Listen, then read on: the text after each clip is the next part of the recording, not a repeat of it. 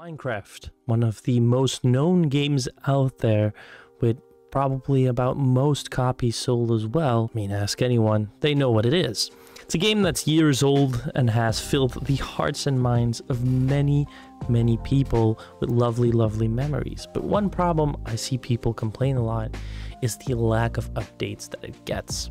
So I went ahead and checked it out myself and here's what I found. So over the past four years, not a lot of content has been added. I mean, don't get me wrong, it's not that nothing's been added, but when you look at 2020 and 2021, for instance, when we look at that, 2020 had the Nether update, which while nice, doesn't really add a whole lot or only part of the map, and then 2021 goes into the overworld and then just caves and cliffs, but that's only the latter part. Over the two years, they actually had part one of that. So we have over two years time, three updates. So that's not a lot, but again, not nothing. And at the end of the day, when you look at the size of the updates, while it may not seem like much, these updates actually do have some content in them or require some time to get made. But then again, when you go and look over at other games, they have way more updates, even if they are uh, small little games, even if they're solo devs and stuff. Minecraft is made by hundreds of developers at this point.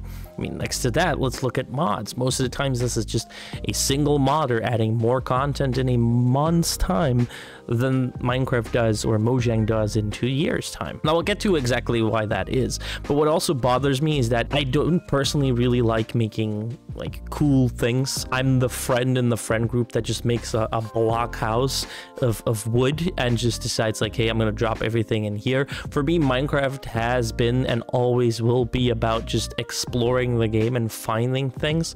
Um, but there have been updates that really do help that. Like, for instance, the update with uh, seas and sunken ships and being able to explore all of that. That added a lot of content for me personally.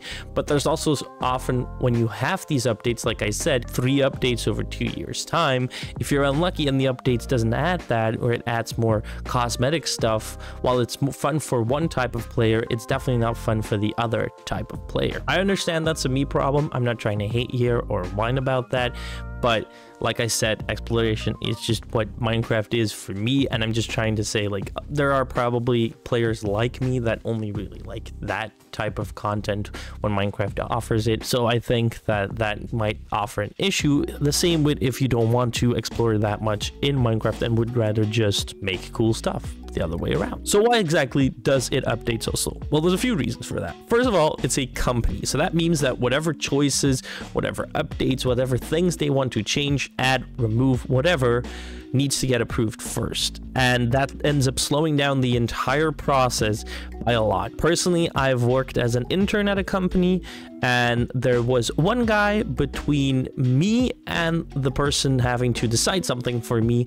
and it took about a week's time. So you can understand that in a company with hundreds of people in it that there can be some delays with certain choices or certain alterations of the game. It takes a lot of time to add anything of an update, and while there are many cool creative ideas that are out there with the many mods that the game has already had, it still creates the issue that making an update with like a huge amount of extra content um, might make it seem a bit too different from what the game is supposed to be at the end of the day. Let's not forget that it is a kids game, right? Like this isn't made for us. Uh, I was 10 year old when I started playing the game, and I think a lot of people uh, also started playing when they were a kid, but it's like the target audience is still kids. We started playing it as kids because we loved it back then.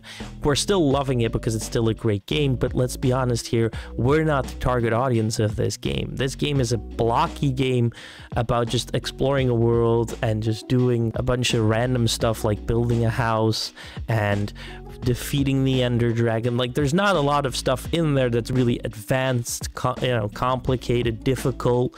There's not a lot of stuff out there that you could say like, oh yeah, this really is not catered towards children because it is. Another issue that I looked into that apparently has been going is that, like I said, Minecraft is an old game. I think when I was 10, I'm I'm 23 right now. The game was pretty much in like alpha or beta state when I bought it We're 13 years later. So it's insanely old code that's probably already still rooted in there. And on top of that, it's probably also just so much code.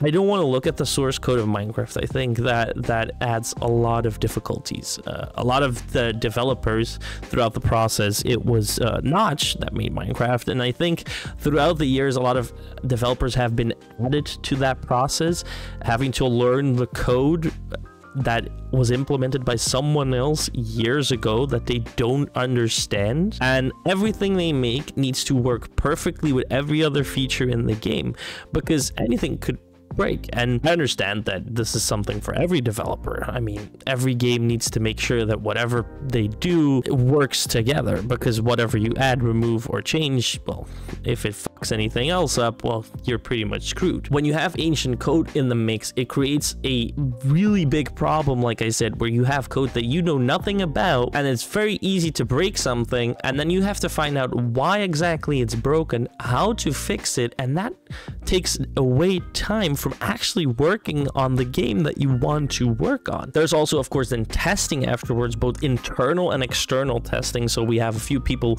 that are working on the code that need to work on it. And then while they, after they've kind of cleared it, they have to do these tests by uh, other people. There's people who just play the game to test a bunch of stuff. But when you do something like the Caves and Cliffs update, where it's like world generation, well, you have to go and explore a world to know if it works, right? Like you can do a certain part of the map and be like, hey, look, that part works, but then eventually does it all fit together really well with the entire map that you have randomly generated? And something like that takes a lot of different time as well. So development gets slowed down by the amount of people that need to approve. Then there's also just the sheer amount of time that it takes to just get something into the state where it's actually presentable. I mean, say what you want about Minecraft, but I have rarely seen or heard anything about an update being pushed that wasn't presentable. I'm not saying perfect, because there are issues sometimes with the updates that it gets, but it is not unplayable or broken or like nothing works. Like it is presentable for the audience, especially when you, like I said, cater a game to kids. Kids aren't really going to care that much about a game bug as much as uh, an older audience is going to care about it. Modders in this case don't have that slowdown. They don't have to get approved by a bunch of people, and most of them tend to work alone or in very small groups, so they all have their common goal, make this thing, this mod or this mod pack, and that's it. That's all we have to do. No approval.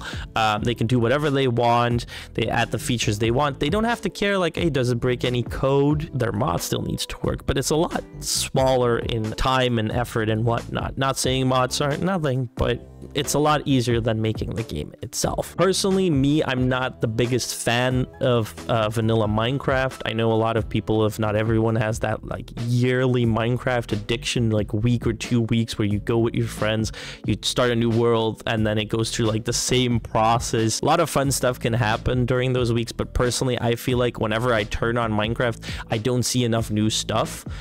But like I said, and that's the beautiful part of it, it's mods that can fix those issues. I really don't understand when people cry about the update updates being too slow. Yes, that is the case, but let's not forget that when you play one of those mod packs, are you still really playing Minecraft? It tends to really go one direction or the other, or it's way too much content in one time. And when you're catering it for kids that play the game, you don't really want to just add a bunch of weird new stuff that makes kids go like, oh, what the hell is all of this? How, how am I supposed to work with this? Because that might put them off from actually playing the game, and then you're just losing your target audience.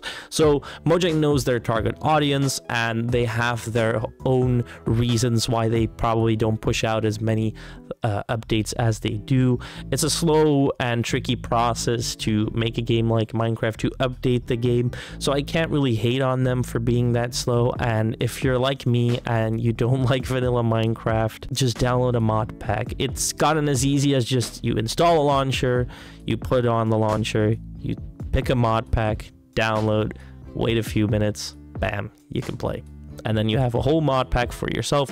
You want to do that on the server, that's a bit more difficult, but still, the process has gotten so simple compared to what it was back in the day. There are so many amazing mods, years and years and years of mods, a lot of them updated to the current version of the game. Go and go wild on it if you don't like the updates the game is getting. So one last time, because I have to say this, for people to really realize it. This game is made for kids. If you feel like the game doesn't really cater anymore towards you, like it really isn't made for you anymore, that might be because it is, right?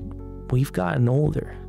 I, I don't think Minecraft is the pinnacle of gaming anymore for people in their 20s or 30s. That's just the way it is. And we can't really do much more about that. There's a lot of amazing memories that that we've probably had. You and I both have had. I don't see why we can't have more memories in Minecraft and if not in other games. That was it though for my own opinion. Leave yours down in the comments below and while you're down there subscribe to have more content just like this where I talk about gaming. Now, if you've never heard of this channel or of me, why not click this video? It's where I explain the current situation for small content creators and how frustrating and annoying it can be to really get started on YouTube. So if you want to know how YouTube works a bit behind the scenes, check that one out and I'll see you there.